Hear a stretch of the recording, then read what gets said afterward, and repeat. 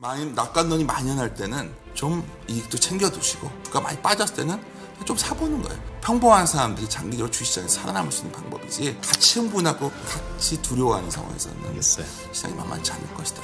에, 조금 차분하게 대응하는 것이 좋지 않을까. 최근의 장세의 편승에서 어, 조금 가짜 성장주 이런 부분들이 굉장히 많이 숨어 있거든요. 네네. 제가 볼 때는 이런 부분에 대한 옥석 가리기가 올해는 굉장히 클 거기 때문에 투자라는 걸 한마디로 정의하면 저는 이렇게 정의해요. 세상과 나의 건강한 긴장 관계를 유지하는 행위가 투자다.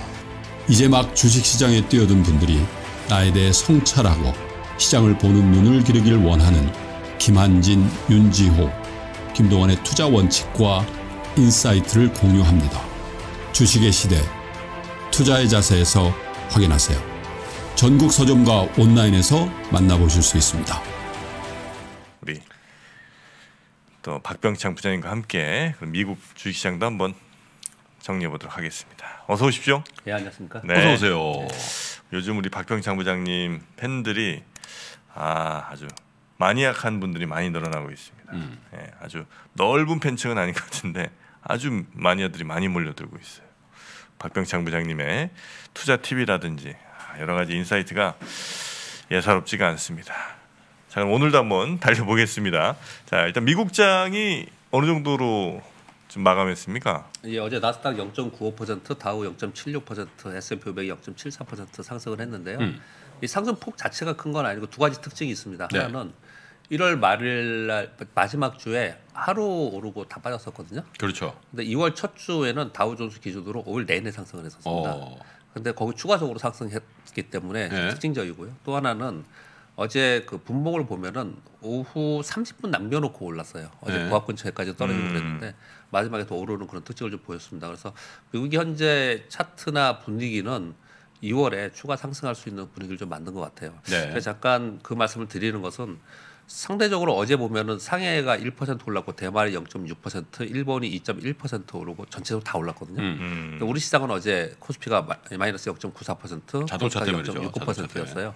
이제 자동차 때문에 거기서 음. 이제 하락을 했기 때문에 그런데 사실 우리는 어 연휴 이제 이틀 남았지 않습니까? 그 내일까지 열리고 네. 연휴이고요. 그리고 내일이 옵션 만기일이에요. 음. 그래서 우리나라는 파생상품 만기일에는 파생상품 연계된 거래가 시장을 지배하는 자구하는 네. 이런 현상이 많이 벌어지기 네. 때문에 상대적으로 우리 시장이 지금 뒤처져 있는 그런 모습이거든요. 근데 제가 이 미국 시장 얘기하면 잠깐 이걸 언급을 드리는 거는 어, 간혹가다 이런 경우 있습니다. 우리가 지금 주춤주춤 이러고 하고 있는 사이에 미국이 너무 많이 떠버리잖아요, 계속. 음. 그러면 우리가 올라갈 차례에 미국이 조정을 보이면 우리 못 올라요. 음. 그참 운이 안 좋은 거죠. 네. 반대로도 있어요. 우리 시장 우리가 뭐 긴 연휴여 가지고 쉬는 동안에 네. 미국이 막 계속 빠져요. 음. 우리는 안 빠지고 있다가 음. 그 미국이 반등을 하면 우리 같이 올라고 이런 제 작년에 그런 경우가 좀 있었던 예, 것 있었습니다. 같더라고요. 예, 그래서 네. 운이 우리나라 참 운이 좋았어. 뭐또 네. 이렇게도 얘기를 하고 그런데 지금 상황은 미국이 계속 올라가는 상황에서 우리는 이번 주 이벤트라서 좀 좋지 않은 상황이고 그리고 연휴가 있고 그래서 무기, 미국이 너무 빨리 올라가 버리면 우리 시장에 상대적으로 시차가 있다. 네. 그런 네. 부분들 좀 말씀드리고 싶고요. 음. 어제 올랐던 내용은 이제 부양책 1조 9천억 달러 통과 기대인데 이거는 계속 나왔던 얘기잖아요. 그렇죠. 근데 어제 올, 어, 상승의 가장 직접적인 원인은 저는 옐런 장관의 그 CNN 어, 여- 내용 예. 인터뷰 내용이라고 저는 생각합니다. 뭐였죠? 어, 1조 9천억 달러를 네. 이제 옐런 장관이 이제 지지 발언하면서 아 지지. 읽어 드리면요. 1조 9천억 달러 부양책이 의회에 통과되면은 네. 어, 미국 완전 고용 상태로 들어갈 수 있다. 이렇게 음. 얘기를 하면서 완전 고용이라고 하면 4% 이하를 얘기하죠. 그렇죠. 지금 현재 6.3%입니다. 음. 근데 이게 이전에 코로나 이전에 3.5%였는데 이 안으로 들어갈 수 있다. 그래서 음. 이번 부양책은 반드시 필요하다. 이걸 네. 강조한 네. 재정장관이니까 재무부 장관이니까 당연히 그렇게 한 것이에요. 그런데 거기에 커멘트 하나 더 달았습니다. 뭐냐면 이번에 부양책 나오고 나서 이후에 어, 완전 고용을 위해서 신규 부양책 따- 따로 또 더 우리가 추진을 하겠다 이런 음. 얘기들이 나왔어요. 이거 말고도 또 예. 그러다 보니까 네. 어, 시장이 전반적으로 지표를 보면 명확하게 알 수 있는데요. WTI가 58달러까지 올랐잖아요. 음. 어. 이게 50달러 전후에서 왔다 갔다 했는데 이게 60달러 가까이 지금 가고 있는 상황이기 때문에. 확연하게 음. 시장에서 이쪽 방향으로 지금 잡고 있는 거고요. 음. 10년 만기 국제 수익률이 1.176%로 마감했는데 장중에 1.2%까지 갔었거든요. 네. 그러면 유가가 오르고 그리고 국제 수익률이 오르면 미국 시장은 금융주가 오르고 정유주가 오르거든요. 그래서 이게 이게 선두로 되면서 어제 시장이 상승을 한 거예요. 반대로 1% 이나의 상승이었던 이유는 뭐냐면 이런 소위 가치주라고 얘기하는 경기 관련주가 오를 때는 성장주가 내리죠. 그래서 어제 보면은 빵주들을 이제 여기 보면요. 페이스북이 마이너스 0.57, 애플이 플러스 0.1, 아마존이 마이너스 0.87, 넷플릭스가 마이너스 0.52. 이 FAANG주들은 어저께 소폭씩 하락을 했습니다. 어제 지수는 올랐지만 소폭 하락했다는 거거든요. 그러니까 어제 미국 시장은 한마디로 표현하면 네. 이 부양책에 대해서 기대감 거기에 옐런 장관이 어, 지지 발언을 함으로써 전반적으로도 상승을 했다 네. 이렇게 보시면 될 것 같고요. 어, 더불어서 리치먼드 연은 총재도 전에는 어, 테이퍼링 필요하지 않겠냐 이렇게 얘기를 했었거든요. 네. 지금 뭐라고 또 지지 발언을 했냐면 어, 대규모 부양책을 지금 실시하는데 사실 급격한 인플레이션은 없을 수 있다. 그렇게까지는 예, 급격하게 인플레이션이 발생되지 네. 않을 것이다. 이렇게 지지 발언이 있었습니다.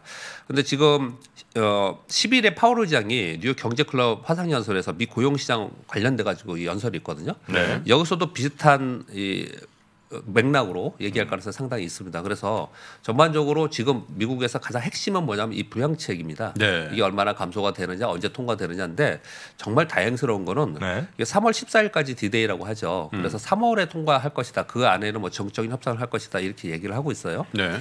이게 되게 좋은 내용이죠. 왜냐하면 이게 만약에 1조 9천억 달러가 오늘 통과했어요. 음. 그러면 끝나잖아요, 재료가. 음. 모멘텀이 끝나버리는 거거든요. 그렇지. 근데 3월 14일까지 3월 안에 하겠다 그러니까 3월이면 아직까지 한 2주 3주 남았잖아요. 2주 3주 동안 미국 시장은 계속 이 부양책에 대해서 노, 이, 놀, 얘기를 하면서 이게 모멘텀으로 계속 미국이 상승할 수 있는 어떤 모멘텀으로 계속 남아 있는 네. 겁니다 이게. 그래서 미국 시장에는 굉장히 다행스러운 거꾸로 얘기하면 다행스러운 그런 상황이 좀 됐다라고 보여지고요. 어, 이 신규 부양책에 대해서 반대론자도 굉장히 많아요. 네. 어제 나온 뉴스 중에서 레리 서머스 교수는 이거 이렇게 하다가는 인플레이션 우려가 된다. 어 그래서 반론을 얘기를 했습니다. 근데 옐런 장관이 또 거기에 대해서 다시 반론을 얘기를 하기를 음. 어 이것으로 인한 인플레이션 우려가 있을 수 있다. 그렇지만 지금은 그게 걱정할 문제가 아니다. 그 부작용 걱정할 문제가 아니고 네. 지금은 어떻든 간에 경기를 살려야 되고 고용이 중요하다. 그래서 강력한 경기 부양책 써야 된다. 이렇게 얘기를 하고 있거든요. 네. 음. 그래서 지금 쭉몇 가지 말씀드렸는데 한마디로 표현 드리면요. 음. 옐런 장관의 에, 부양책 1조 9천억 달러에 대한 지지 발언 그리고 추가적으로 신규 부양책이 있을 수 있다라는 내용이 어제 미국 시장을 끌어올렸다 이렇게 보여집니다. 네. 어 그리고 종목들을 보면서 우리 시장 영향을 우리 시장도 영향을 받는 종목들 좀 보면요. 음, 어제 마이크론 테크놀로지가 3.59% 올랐습니다. 어 좋네요. 테, 예, 그리고 테슬라 1.3% 올랐고 엔비디아가 6%로 올랐어요. 이번 주 실적 발표거든요. 네. 텍사스 인스트루먼트가 3% 상승을 했고요. 반도체 다. 예, AMD가 4% 상승했습니다. 네. 상대적으로 박스, FAANG주에 있는 커뮤니케이션 섹터는 어제 약보합이었는데 음. 이쪽 IT 하드웨어 쪽은 어제 상승을 했거든요. 반도체 어, 쪽은. 우리한테 좋은 소식이죠. 그렇습니다. 그러다 보니 우리 필라델피아 반도체 지수가 어제 3.1% 올랐어요. 네. 이거 굉장히 큰 폭으로 오른 거거든요. 네. 이 네. 반도체 지수기 때문에 이게 왜 우리 시장에도 영향을 많이 미치냐 이 말씀을 좀 드리고 드려 보면은 우리 시장이 1월 11일 날이 고점이었습니다. 네. 3,266포인트. 저점이 2,947포인트로 약10% 안에서 박스권으로 움직여요. 예. 제가 보기에는 우리 시장 요 박스권으로 움직일 가능성이 당분간 있을 것 같은데요. 이번에는. 예. 그런데 이렇게 된 이유가 삼성전자 때문에 못 오르죠? 예, 삼성전자가 1월 11일 고점이 96,800원이에요. 예. 저점이 8만 1,000원이고 지금 8만 3,000원, 4,000원 이제 그렇게 지금 거래가 되지 않습니까? 네. 이 삼성전자가 여기서 뭐 깊게 빠지지도 않고 또 제자리를 가지 못하고 있으니까 지수는 왔다 갔다 할 수밖에 없는 그런 상황이 된 거예요. 예. 네. 여러분 잘 생각을 해보시면 시가총액이 높은 삼성전자, 하이닉스나 삼성전자, 우선주나 그 위에 있는 종목들이 움직이면 지수를 급격하게 움직이는 방향을 트는데 음. 그렇지 않고 그 동안에는 어 뭐 게임이라든지 아니면 미래차라든지 이런 쪽에서 올라갔다 내려갔다 하면서 지수는 지금 잘 보시면 세 번의 고점을 찍었어요.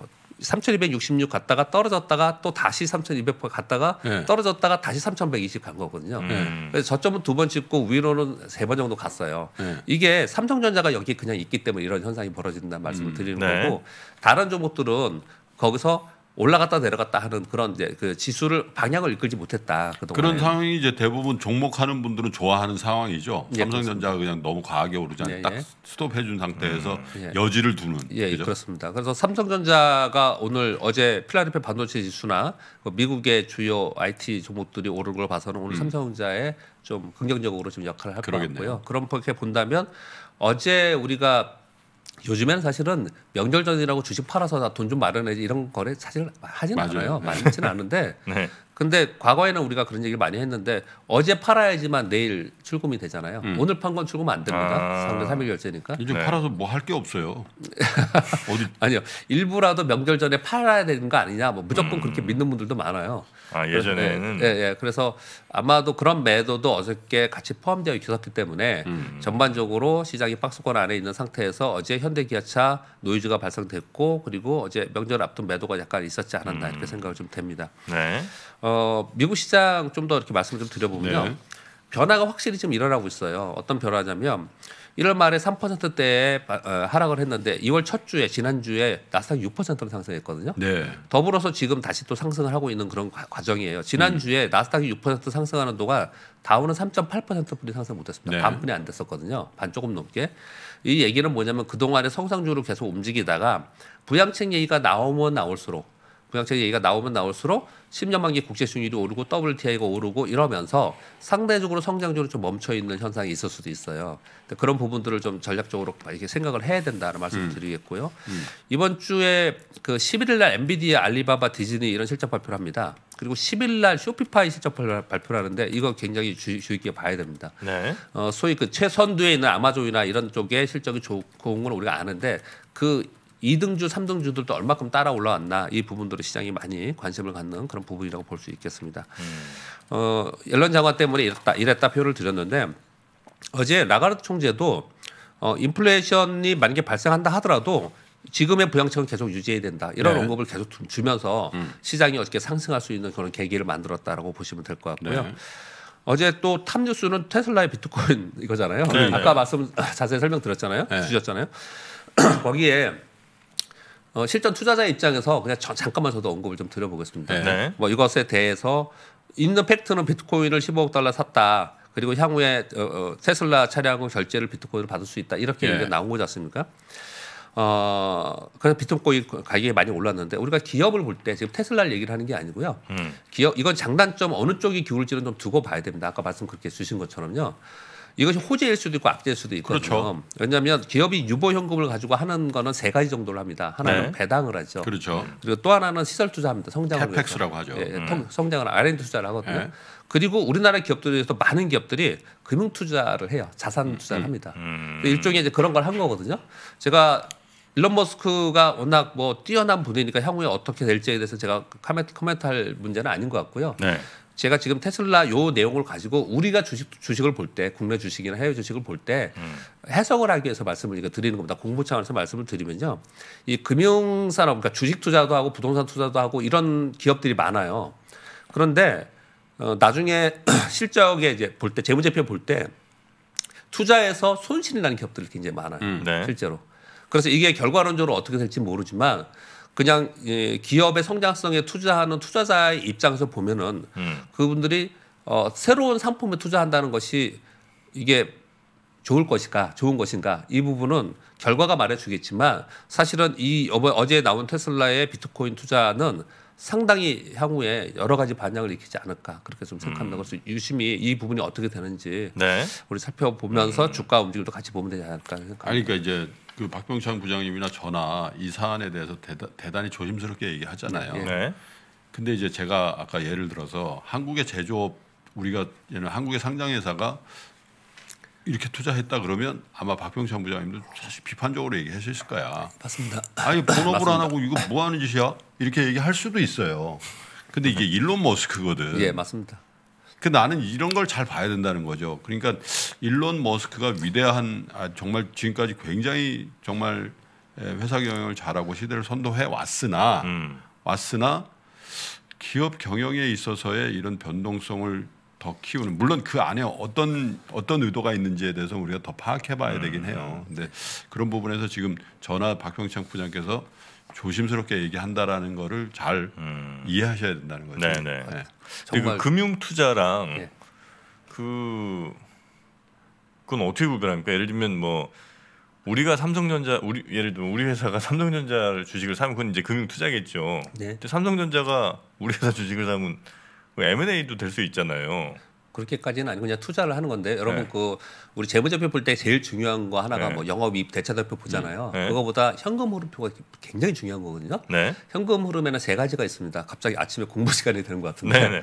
영업으로 인한 현금 흐름 네. 그리고 투자 활동으로 인한 현금 흐름 재무 활동으로 인한 현금 그렇죠. 흐름. 요세 가지를 보고 얘들이 현금 흐름이 얼마나 원활한가 쌓여 음. 유보금이 얼마나 이게 굉장히 중요합니다. 기업을 항상 보셔야 되는 거고요. 네. 근데 거기 투자 활동으로 하는 현금 흐름 있지 않습니까? 음. 이 부분에 어 자기네 기업이 아닌 제, 아까 말씀 주신 대로 제조업이 아닌 저 그냥 솔직히 말씀드릴까요? 제조업이 아닌 기업이 우리나라에서 이런 일이 벌어졌다.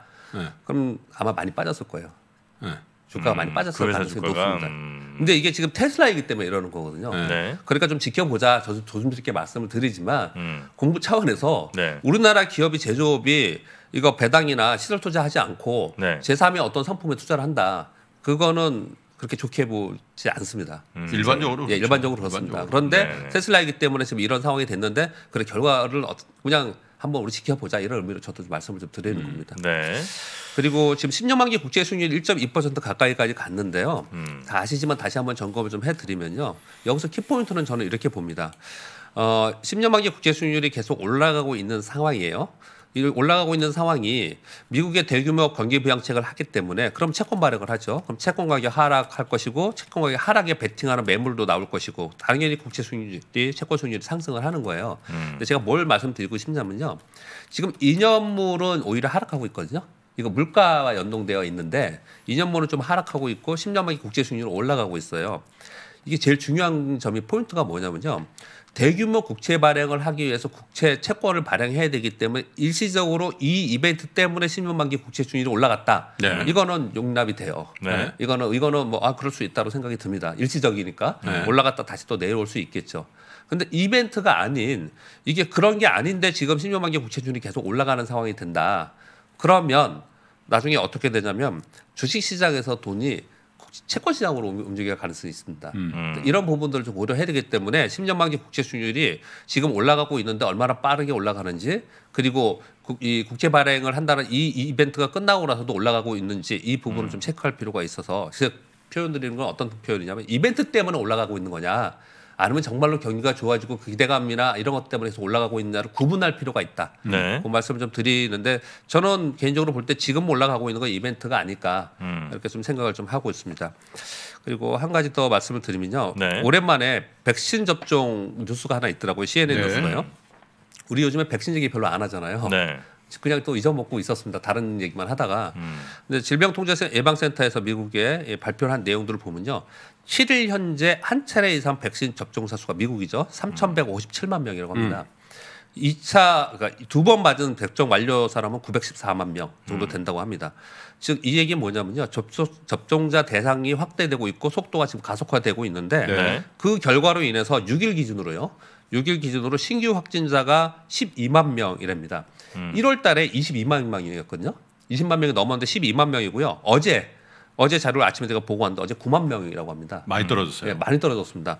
그리고 우리가 지금 백신에 대해서 노이즈도 많고 이게 되겠냐, 뭐 안 되겠냐 여러 가지 얘기들이 굉장히 많잖아요. 음. 근데 실제로 미국에서 이렇게 쭉쭉쭉 떨어지면서 백신 접종의 효과가 나타난다. 네. 이건 시장이 분명히 영향을 줄 거예요. 그렇죠. 요즘에 이거 이 얘기가 별로 없었기 때문에 다시 한번 제가 그- 이걸 지금 가져왔는데 이 네. 부분을 좀 생각할 필요가 있다. 이거 분명히 시장에서 호재로 갈, 예, 작용될 가능성이 높다라고 음. 생각합니다. 물론 이제 어제 바이든 대통령이 그 변이 바이러스가 다반하고 있기 때문에 우리가 낙관할 수 없다라는 그런 입장이 나오긴 했어요. 네. 예, 그래서 지금 현재 백신이 이 변이 바이러스에 통할 것이냐 이 과제가 또 하나 남아 있죠. 음. 특히 유럽이나 이런 데서는 네. 그 투자팁 투자팁 여러 개 전에 주시는 거 가운데 그 이벤트 day와 economic day의 차이 그에 대한 이해 요거가 좀 있던데 이거 좀 혹시 설명해 주실 수 있을까요? 그 이벤트 day라는 주- 주- 우리 주식 많이 쓰는데 이벤트 네. day하고 economic day를 이해해서 해서 거기에 맞춰서 전략을 가져가야 네네. 되는데요. 예를 들어서 이벤트 day가 예고되어 있어요. 이벤트 day는 예를 들어서 네. 뭐 테슬라가 어, 주식 분할한데 애플이 주식 분할한데 지난 작년에 그런 일이 있었잖아요. 네. 예. 그 이벤트 day가 있으면 이벤트 day까지 가는 동안에 주가는 상승을 합니다. 이벤트 day까지 가는, 동안 동안에. 상승. 네. 그리고 거의 대부분 당일이나 그 다음 날 고점 찍고 떨어져요. 거의 대부분. 음, 음. 그래서 이벤트 day를 볼 때 내가 어떤 투자를 해야 되느냐. 네. 요걸 말씀드리기 위해서 이걸 네. 써왔고요. 또 네. 하나는 economic day는 뭐냐면요. 네. 이런 겁니다. 앞으로 10일 안에 10일 안에 시장이 한번 빠질 것 같아. 음? 시장이 한번 급락할 것 같아라고 예- 예측을 했습니다. 10일 안에. 네. 그러면 오늘 일어날 확률은 10%잖아요. 네. 그렇죠. 근데 5일이 지나면은 20%로 느는 거죠. 음. 그리고 9일이 지나면 뭐 거의 다음 날이니까 100%인 거고 8일이 지나면 50% 확률이잖아요. 그 전망이 맞다면 예, 이게 economic day는 어떤 확률로 이해하기가 이해해야 됩니다. 그 무슨 표현이냐면 우리가 시황을 볼때 네. 올해 하반기에 한번 꺾일 거라고 다들 생각을 해 공감대가 형성이 됐어요. 음. 그럼 지금은 2월 초지 않습니까? 네. 그럼 지금 확률하고 올 하반기에서 따랐을 때 기간이 가면 갈수록 또 economic day가 나타날 확률이 훨씬 높아진 거잖아요. 이 확률과 이벤트 데이를 가지고 내가 투자 전략을 가져가야 된다는 거예요. 어떤 주식을 내가 그 이후까지 들고 가야 되고 어떤 주식은 이런 변동성이 생기기 전에 먼저 팔아야 되고 그 전략을 가져가기 위해서 이렇게 지금 제가 요 말씀을 좀 드리는 겁니다. 아, 음. 근데 이벤트 데이야 이제 거기서 공식적으로 뭐 예고한 거거나 뭐 이럴 테니까 예. 뭐 삼상 언제다 뭐 이런 게 나오니까 이제 사실 그거에 맞춰서 할 수 있을 것 같은데. 제가 예 말씀 주십시오. 네. 근데 economic day는 사실 뭐 이달 안에 빠지겠지라고 하는 거야 그냥 그냥 말 그대로 예측 아닙니까? 그 예측의 확률이 높아진다는 거지 않습니까? 네. 예, 아까 말씀드렸듯이 네. 30일 후의 예측보다 10일 확- 후에 예- 예측이 예측할 때 훨씬 확률이 높아지잖아요. 시간이 지나가면서 네. 확률이 높아지는 만큼 사실 파생 상품 거래하는 사람들이 하는 용어인데요. 아. 확률이 높아질수록 네. 높아질수록 보수적인 사람은 빼야겠죠. 음. 또는 확률이 높아지는 그 순간에 내가 베팅을 한번 하- 하는 사람들도 있고요. 음. 그래서 그 저 economic day는 확률로 이해를 하고 그리고 네. event day는 아까 이해를 하셨죠. 네네. event day는 음. 그래서 우리가 이렇게 지금 제가 딱히 어떤 걸 예를 지금 안 들어와서 안 드려서 그러는데 음. 그 뭐 예를 들어서 선물 옵션 동시 만기 있잖아요. 네. 이것도 event day라고 할 수 있지만 네. 그게 economic day라고 우리가 판단을 한다면 음. 그 사이에 시간이 가면 갈수록 변동성이 훨씬 커지는 거거든요. 그러면 그 거기에 economic day에 가면 갈수록 네. 투자는 짧게 해야 됩니다. 음. 투자는 짧게 해야 돼요. 거기 가면 갈수록. 그래서 내가 어떤 종목에 그리고 어, 지금 시황에 어떤 섹터에 뭐 event day 또는 economic day라는 게 기- 어느 정도 생각이 되지, 되면은 내가 네. 그걸 가지고 어떻게 투자 전략을 가져갈까에 대해서 제가 말씀을 드리고 있는 건데 이거는요 실제로 우리가 많이 하는 겁니다. 어디서 많이 하냐면 파생 상품에서도 하지만 네. 여러분 그 일정 매매라고 아세요? 일정 매매 하시는 분들 있죠. 일정 매매. 일정 매매라는 표현을 요즘에 안 쓰나요?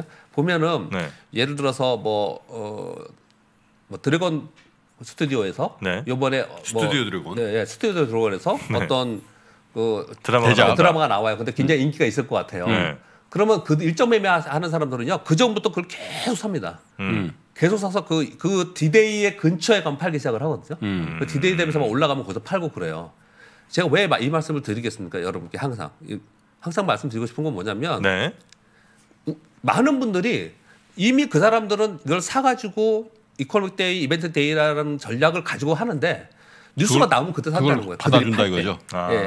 예. 그들이 팔 때 산다는 거예요. 야, 무슨 드라마 대박 났대 어디야 스튜디오 드래곤이야 예, 예. 이러면서 이제 들어가는 거죠. 근데 여기 이 거래를 전문적으로 하시는 분들은 음. 기본적으로 꽤 오랫동안 1년에 영, 스케줄을 놓고 이걸 투자를 하거든요. 아. 그러니까 우리가 어떤 이 실제로 economic day인 당일, event day인 당일 날 거래하시는 분들이 굉장히 많은데 실제로 네. 그 전에 준비해서 거래하는 분들이 굉장히 많다라는 걸 꼭 말씀드리고 싶어서 네. 적어 아, 요건 뭐.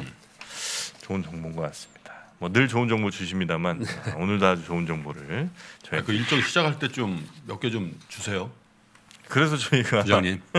우리도 우리도 쭉 네. 한번 해보려고. 저희가 뭐 우리 부장님. 시간이나 아니면 염승환 부장님 타임에 꼭 그 오늘의 일정 혹은 뭐 이번 주 일정 이런 것들을 정리 한번 하지 않습니까? 예, 이런 것들 우리가 잊지 말고 잘 체크를 좀 해놔야 될 것 같습니다.